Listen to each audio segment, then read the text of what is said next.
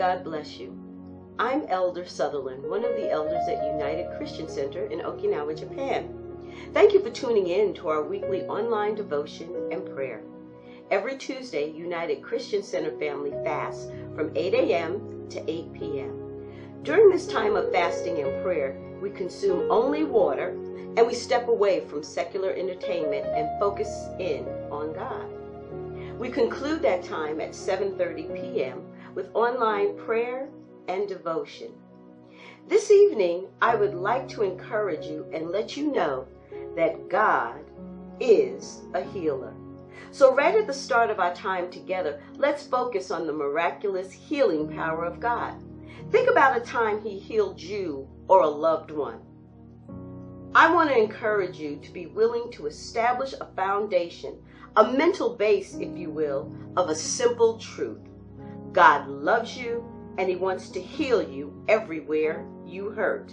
He wants to turn your mourning to joy. He wants to trade your brokenness for wholeness. He is a compassionate healer who gives relief from grief because of his great love and mercy. He's a powerful healer who has the ability to eradicate every disease and heal every wound. We live in a world today which is broken, hurting, in pain, and suffering. Whether it is physical pain like cancer, arthritis, or emotional pain like the loss of a loved one, divorce, job loss, or whether it's the greatest of all brokenness, the spiritual pain of being separated from God because of our sin. Many times this hurt and pain is intermixed together. Whatever the pain and suffering, the Lord wants us to be whole people. He desires to mend our broken bodies, fix our wounded hearts, restore our relationships, and heal our finances and forgive our sins. He said in his word that he came that we might have life and that life more abundantly. In order to have the abundant life, you need to be whole, you need to be healed. So he has provided that for you. For many years, the emotional wounds of losing my mother at an early age, I was age 12 and the oldest of the four children, it has prevented me from responding properly in relationships. I was mean, I was nasty because I was hurting. But God healed me. And the same way that He healed me, He can heal you. Evidence of His willingness and power to heal is all throughout the scriptures.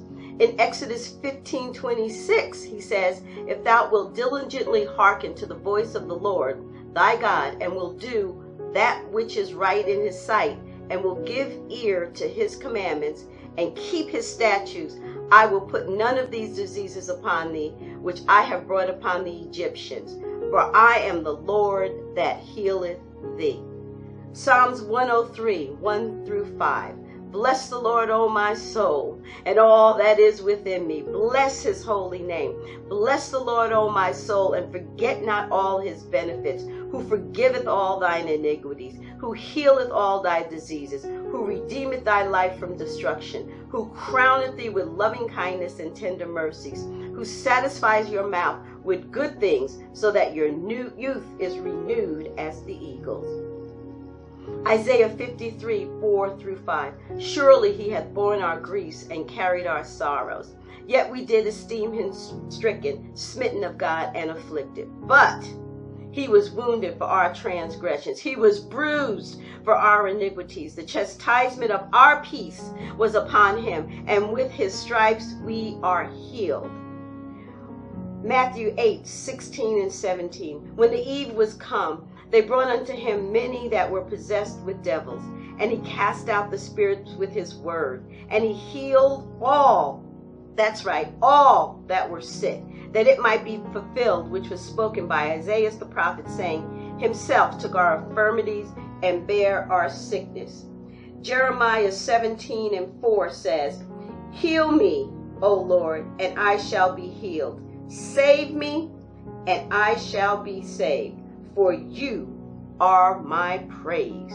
So this should encourage us that our God is a healer and he wants us to be healed. He wants us to be whole. He wants everything whole in our lives. With that in mind, let's go to the throne of grace. Father, we just thank you for who you are. We thank you for your love. We thank you for your kindness. We thank you for your compassion. Father, we just thank you that you loved us so much that you sent your son to die for us, that we might have that abundant life, that we might be healed. Father, we ask that right now you create in us a clean heart and renew a right spirit within us. Father, where we've fallen short, we ask for forgiveness right now. Father, we thank you that you have healed us. Father, we thank you right now that where we are fearful and, and, and afraid to do what you have called us to do, and it's hurting us that we have failed you. We think we failed you. But Father, you have told us in your word to fear not. Father, we thank you for your precious, precious promises. Father, we just thank you for your goodness and your mercy. Father, we thank you that you don't change. We thank you that your mercies are new every morning. We thank you that you are faithful. You are loving. You are kind. Father, we love you and we honor you. Father, we just thank you that we can come boldly to your throne and obtain mercy. Father, we can just come boldly to you and say, Daddy, Daddy, Daddy. Abba, Father, Abba, Father. Father, we just love you. We honor you. We praise you. Father, you know us so well. You created us. You know the number of hairs on our head, and you even know the thoughts conceived in our hearts even before we vocalize them. You've told us to come to you and ask for every need of life. You are Jehovah Rapha, the God who heals, and you have the final word in our destiny. Father, we thank you that it's you that has the final word, not a man, not a position, but you, Father, that has that final word. We are coming to you today as your children, longing to hear from you and asking for your divine healing. There's so much we don't understand about life or our present situations. Father, we don't understand about the coronavirus. We don't understand what's going on with this. We don't understand anything about this particular time in history. But we do know that with one touch, one word, you can make us whole. Please forgive us of our sins, cleanse us of unrighteousness, and begin your healing in us from the inside out. Thank you, Lord. Begin that process from the inside out. Father, we sometimes we feel wounded and betrayed and brokenhearted. We wonder sometimes if we will ever fully recover from the deep hurt we feel inside. Father, sometimes we lash out at people because of that deep hurt. Thank you that you know that we, what we've been through and the struggles we still carry. Help us to forgive, Father. Help us to let go. We, can, we know that we can move forward with you in peace and freedom. We pray that those that have hurt us right now, we pray for them, Father and ask your power for your power to work mightily within their lives. Father, you see the, the hurts that have been caused by those that are closest to us. Father, those that um, we love our friends, our family, even our church family. Father, we give those people to you. Father, we thank you for healing them and work within their lives and our lives. We leave them in your hands and find our comfort and strength in your spirit. Thank you that you understand all that we face and that you see and care. We ask that when the enemy taunts us with lies and tries to bring up the hurt of the past, you would silence his voice. Hallelujah. You will silence his voice and allow us to walk free. We bring to you all the stuff that he would try to trap us with, to stop us with. Father, we bring to you and we leave it with you the pain of the past, the past itself, our mistakes that we made, and our struggles. Father, right now we lay them at your feet And we thank you, Father, for the healing, for your grace, for your hope, for your mercy. Thank you that you have set us free in the mighty name of Jesus. Father, we just lift up marriages to you right now. We decree and declare that marriages are he- being healed right now. This time of, of, of social distancing, this time of, of restrictions where we are closer together. Father, we thank you that these are times and opportunities to be utilized to strengthen the family units.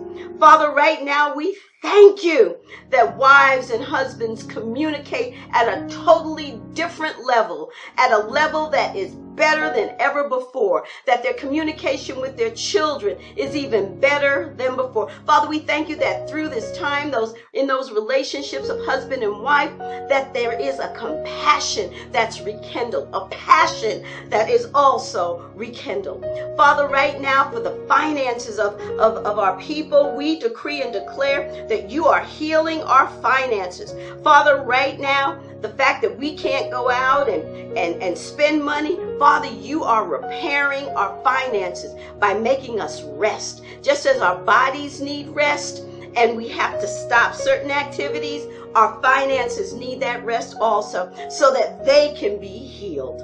Father, right now we thank you for healing the finances, the relationships, the our bodies right now. Father, right now we lift up our government to you. We give thanks for our government. We pray for all men and women having authority over us in any way. Father, right now, our government, our country needs to be healed. Our country needs to be united. Father, we just thank you that you pour out your spirit upon them and make your word known to them. Father, cause them to be men and women of integrity, obedient concerning us, that we may lead that they may we may lead a quiet and peaceable life in all godliness and honesty. Father, let wisdom enter our leaders' hearts and let knowledge be pleasant to them. Let discretion preserve them from and understanding keep them to deliver them from the way of evil and from evil men. Father, make their hearts and ears attentive to godly counsel. Your word it says the heart of the king is in your hand and you are turning it. Father, we thank you. You are turning that heart so it be away from evil and towards godliness. Father, we thank you that you're doing, these people in our government are doing what is right in your sight. Father, we pray for the government of Japan, where, where we are right now. We decree and declare unity in their government also. Father, we thank you that they are able to do what you call them to do so that we can have a peaceable life here in Okinawa. Father, we thank you. We love you and we honor you, Father. Oh, precious Lord. Thank you. Thank you Hallelujah. Hallelujah. Thank you, Lord. Thank you. Thank you. Thank you. Father, we know that the prayers that we have prayed, that you have heard them because we've prayed according to your word. And Father, you know that your word is said that you hasten to perform your word. Father, right now we thank you for healing. Father, we thank you right now that lives will be changed because of this word of healing, this encouragement of healing. We ask it all in Jesus' name. Amen. Thank you, Lord. Thank you all again for being with us during this time of, of prayer and devotion. Remember, Tomorrow night is our online Bible study. It's at 7 p.m. and it'll be on Facebook and YouTube. Make sure you tune in to hear the Word of God. Thank you again, and God bless you.